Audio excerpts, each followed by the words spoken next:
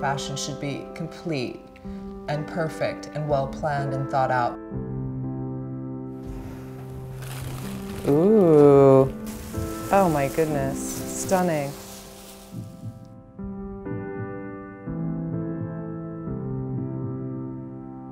I lied to mother, protecting him I always think in a head to toe.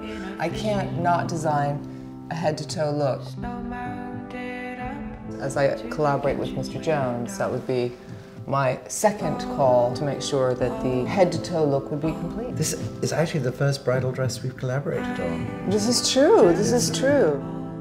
I got very heavily involved in this, dress because it's very intense work when you create something couture for someone's incredibly special day. We'll do many more across the bottom once it's we've done our fittings.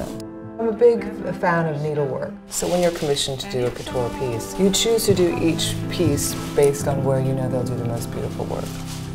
Each big flower takes two days, and there's quite a lot of flowers in our garden. It should be about the girl. So the biggest compliment is that you're just enhancing her, mm-hmm. how beautiful she is in her special day.